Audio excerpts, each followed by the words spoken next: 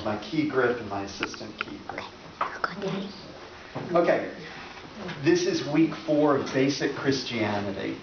And we are we're going through a series looking at John Stott's book, Basic Christianity.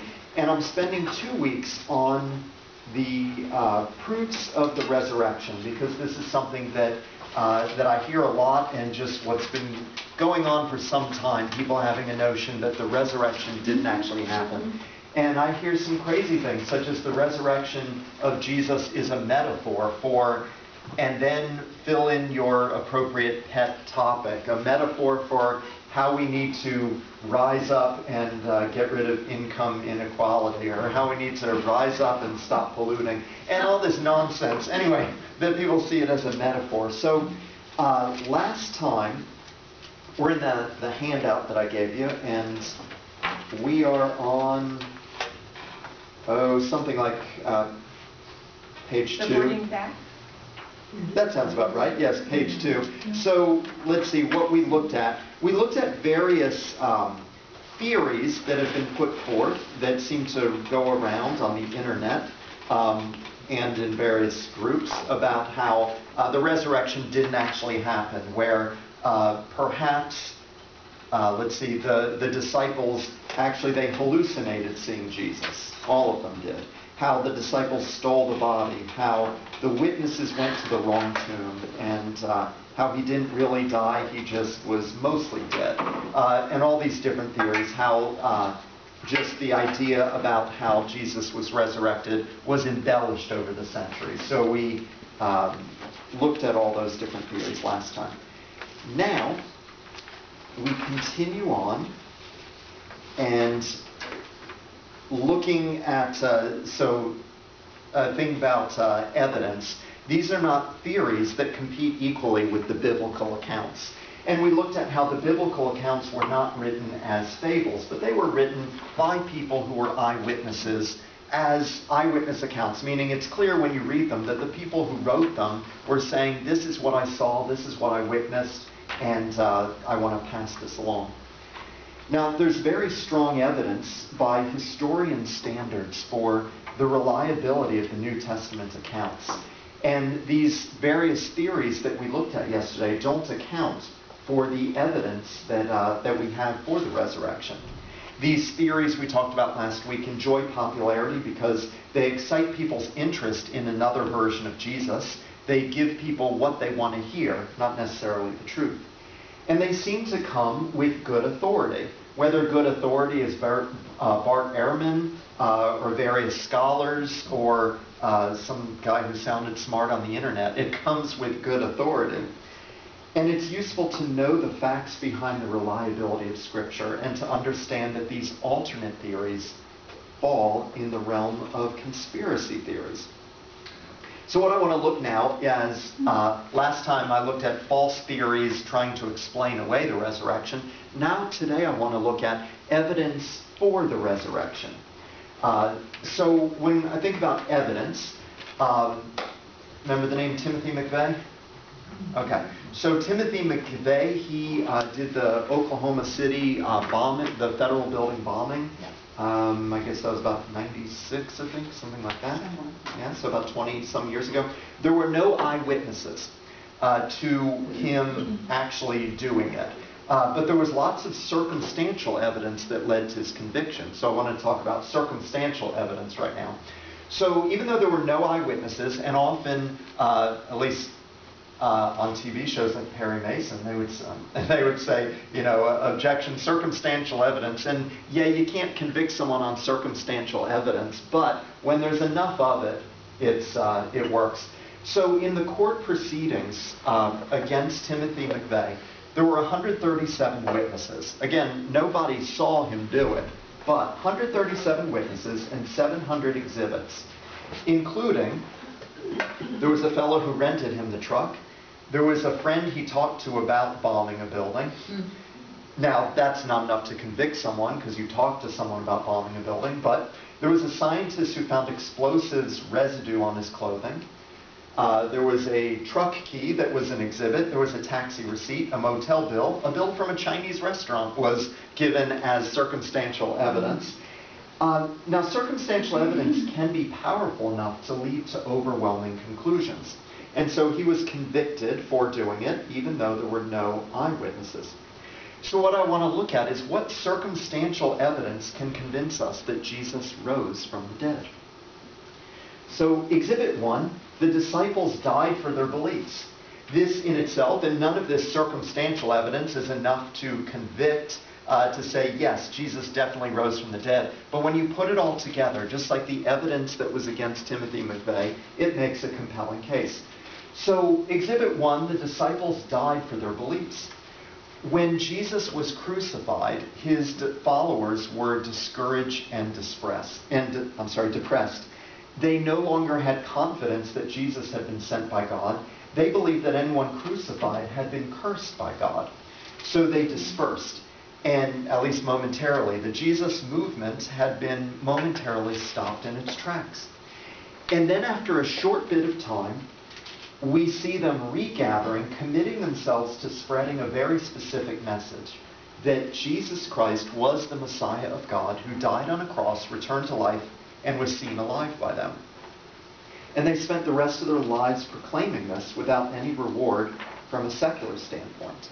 So these disciples who, excuse me, were downcast that their, who they thought was their Messiah had been killed, and now they're back saying he's alive. Uh, they faced a life of hardship. They often went without food. They slept exposed to the elements. They were ridiculed, beaten, imprisoned. Many of them were tortured and executed. Anything for what? Well, they were convinced, beyond a shadow of the doubt, that they had seen Jesus Christ alive, risen from the dead.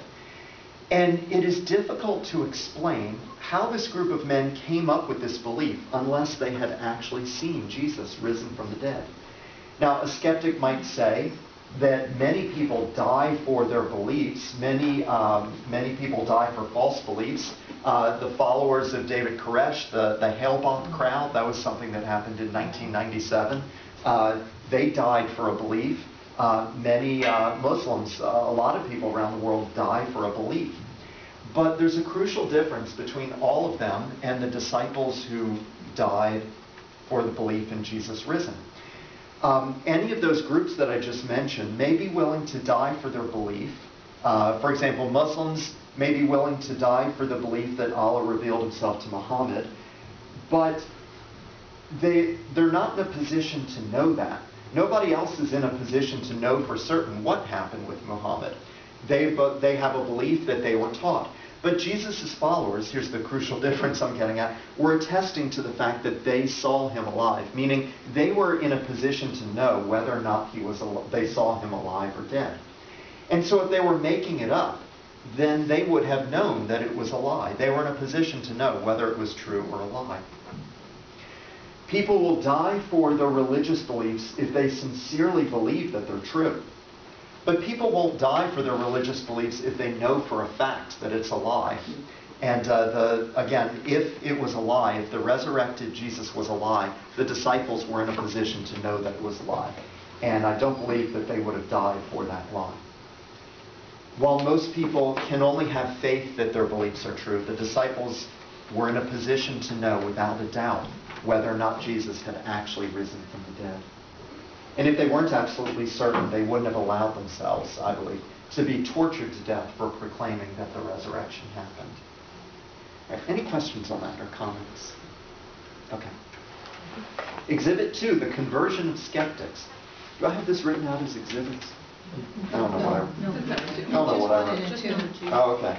Sounds cooler when I say it that way. I'm looking at a court case. I, I get the, the way I'm phrasing it. Uh, I get it from um, uh, Lee Strobel, the way he wrote the case for Christ, Oh. talking as a as a legal uh, legal expert. Okay, the conversion of skeptics. There were hardened skeptics who didn't believe in Jesus before his crucifixion, and most notably, we can think of Saul of Tarsus, uh, who turned around and adopted the Christian faith after Jesus' death. If they were opposed to him when he was alive, his being dead should not have helped matters. Meaning, uh, good, he's. You know, from the standpoint of someone who is opposed to Jesus, they would have been thinking, okay, good, he's dead, that's done with. Um, And yet, a lot of these people converted not by listening to Jesus' teaching, but after something wonderful happened. So, what happened? They must have experienced the resurrected Jesus.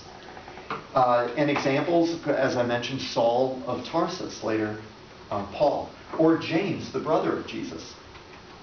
The historian Josephus wrote that James was stoned to death because of his belief in his brother. Paul, uh, he was, as a Pharisee, he hated anything that disrupted the traditions of the Jewish people. To him, Christianity was a counter movement that was undermining uh, Judaism. It was the height of disloyalty. Saul led executions of Christians. Then suddenly, he doesn't just ease off the Christians, but he joins their movement and he does the things that we read about that he does for Christianity. Now, how does this happen? Paul tells us in Galatians how he saw the risen Christ and heard Christ appoint him to be one of his followers. Not only that, but then he performed miracles to back up his claim to be an apostle of Jesus. And I'll take a breather. Any thoughts? Talking too fast so you don't have time to think? All right.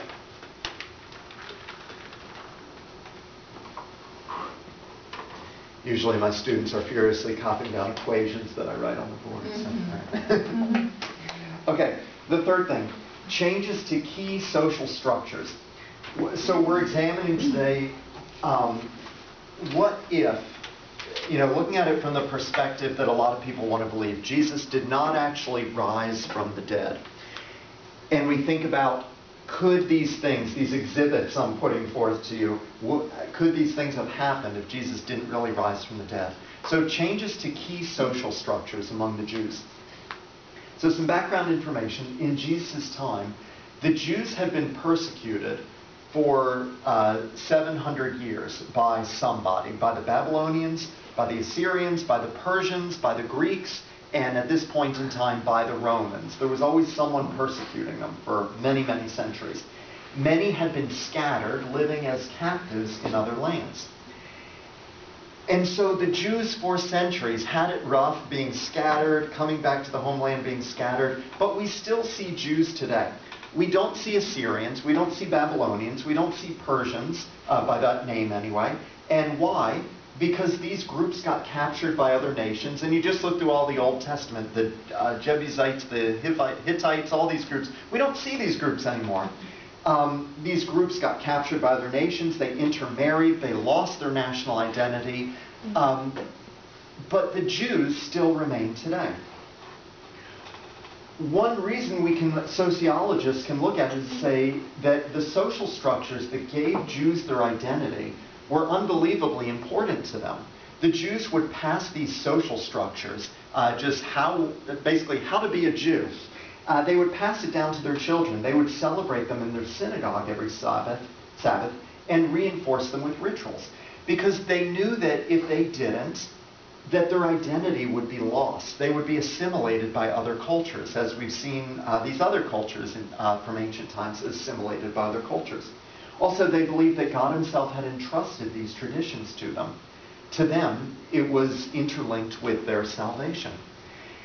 And so now in the first century, a rabbi named Jesus comes along. He teaches for three years, gains a following of lower and middle class folks, gets in trouble with the authorities, and gets crucified. But five weeks later, over 10,000 Jews are following him and claiming that he is the initiator of a new religion. This was big, you know, as I said, Saul saw this as the height of disloyalty. They totally overturned what it meant to be a Jew following a guy, and he's not even alive anymore. He had been crucified. He was now dead. Or so they thought. 10,000 Jews following him. And they were willing to give up or at least alter five, all five of the social institutions that they had been taught since childhood that had such importance something very big must have happened. So I want to talk about those five social structures that they abandoned or altered. And the first one is since the times of Abraham and Moses, they had been taught that they need an animal sacrifice annually to atone for sins. the idea was that God would transfer their sins to that animal. After the death of Jesus, the Jews who followed him no longer uh, needed that.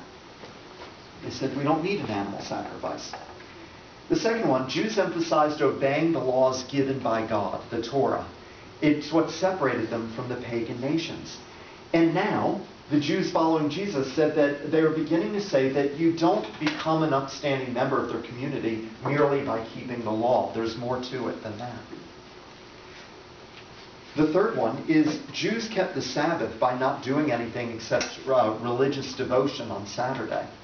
And this 1500 year tradition was abruptly changed. The, these Christians, uh, again, they're still Jews, but now they are followers of Christ. They are worshiping on Sunday. Why? Because that's when Jesus rose from the dead. So after a 1500 year tradition of the Sabbath, Saturday, being the day of rest, finally now you have this group saying there's a more important day of the week. There's Sunday. Jews believed in monotheism, only one God. The Christian view of the Father, the Son, and the Holy Spirit as one God is radically different from what Jews believed. They considered this either polytheism or some kind of heresy, uh, that, that someone could be both man and God. So, from a Jewish perspective, bringing in this Father, Son, and Holy Spirit, that would have been seen as polytheism. And yet the Jews began to worship this man, this man who had been killed, they began to worship him as God. And the fifth is that the Christians pictured the Messiah as someone who suffered and died for the sins of the world. Jews had an idea of the Messiah coming, but they believed that Messiah would be a political leader who would destroy the Roman armies, a political leader who would politically and socially free them from oppressors. So those are five things that you have this group of thousands of Jews who had these traditions that had been going on for centuries, and suddenly they were looking at things a totally different way. Now, you look at how can you explain why in a short time, period of time, not just one Jew, not just a handful, but an entire community of at least 10,000 Jews were willing to give up these key ideas and beliefs that had served them both socially and theologically for so many centuries. And the answer is they had seen the risen Jesus from the dead. They knew something very special had happened. Today, many people are fluid in their faith, uh, picking and choosing religions that sound good. Uh, and it wasn't like that with the Jews. Uh, it wasn't that they came upon ideas that sounded better. They weren't looking for an excuse to rebel against tradition, but something wonderful happened. They were, they were actually, it seems, very content with their traditions, but they gave up those traditions because they had witnessed a miracle. All right. Thoughts on that? Nice thing about YouTube is you can change the speed and you can play me in slow motion. Who's that fellow? Uh, the uh, The crash course. yeah. Sometimes we watch YouTube videos. The Ben Shapiro. I don't know if y'all ever see him. Ben Shapiro, very smart. Call him a kid. Very smart uh, young man, but to listen to him, I, uh, I have to put YouTube on slow motion just to follow him. Ah. Usually on YouTube, I have to put it speed up, but some people need to slow down. Maybe I'm one of those. Okay. Exhibit four, the emergence of the church.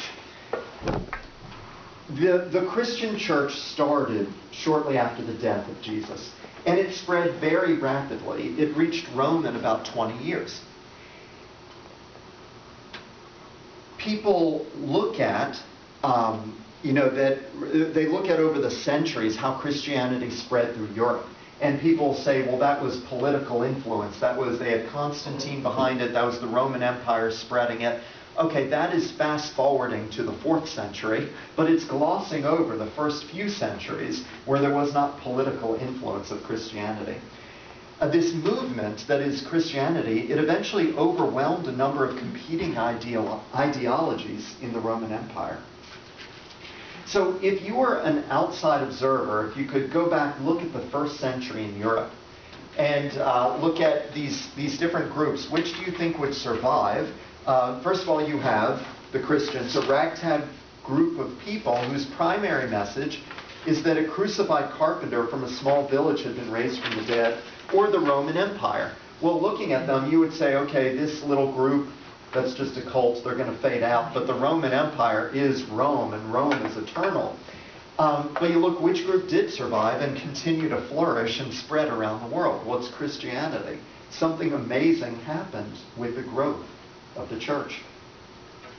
Earlier, you had talked about uh, Christianity, excuse me, uh, Judaism being uh, persecuted by the various nations. Yes. And you listed Rome as one of them.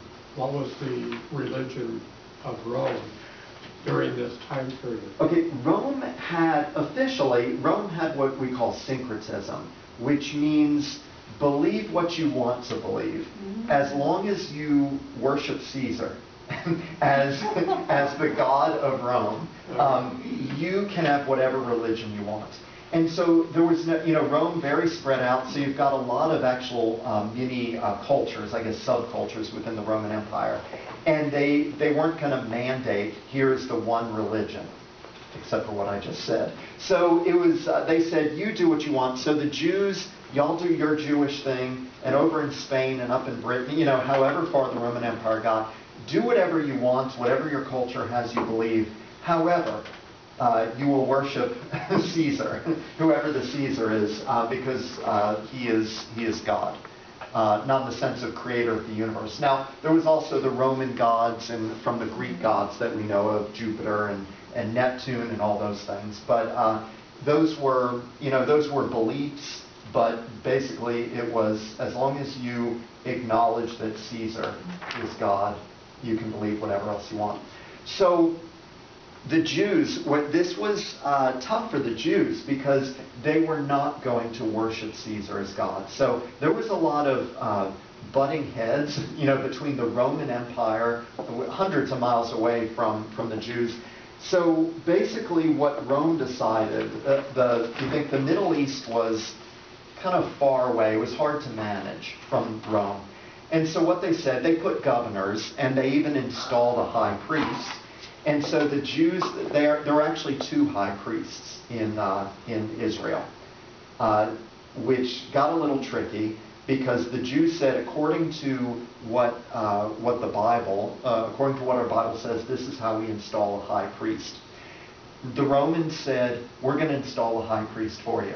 So there were two high priests, a real one and a Roman authority one.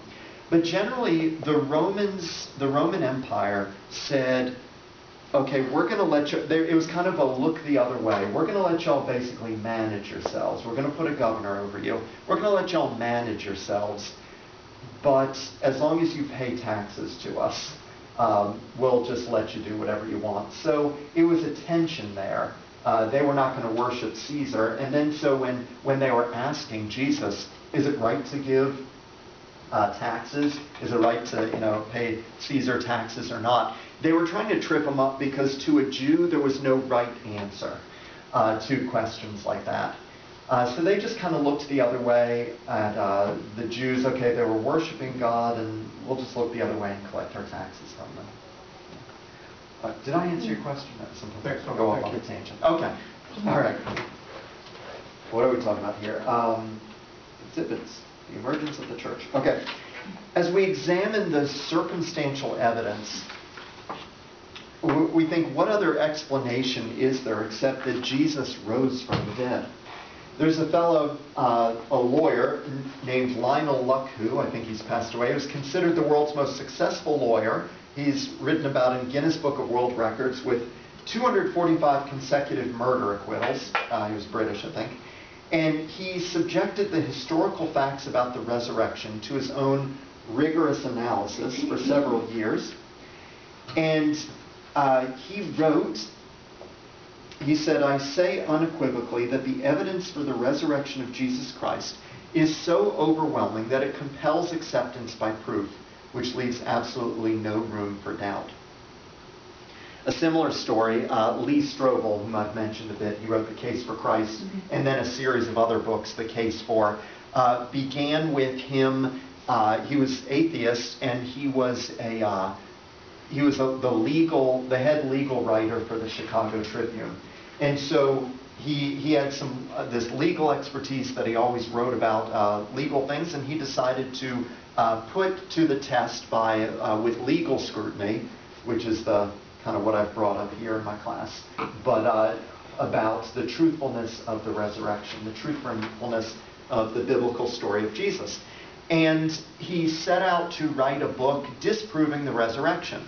And in the course of writing it, he slowly came around and came out with The Case for Christ, which was a book proving, showing the, the resurrection to be true.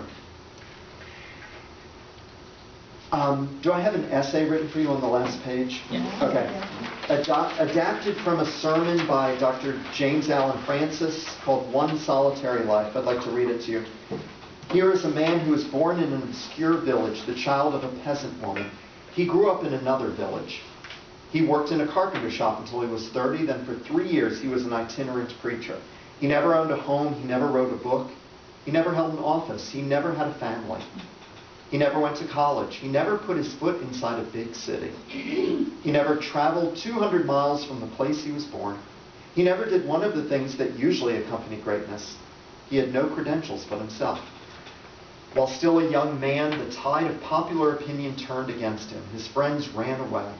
One of them denied him. He was turned over to his enemies. He went through the mockery of a trial. He was nailed upon a cross between two thieves. While he was dying, his executioners gambled for his garments. The only property he had on earth, his coat. When he was dead, he was laid in a borrowed grave through the pity of a friend. Twenty centuries have come and gone.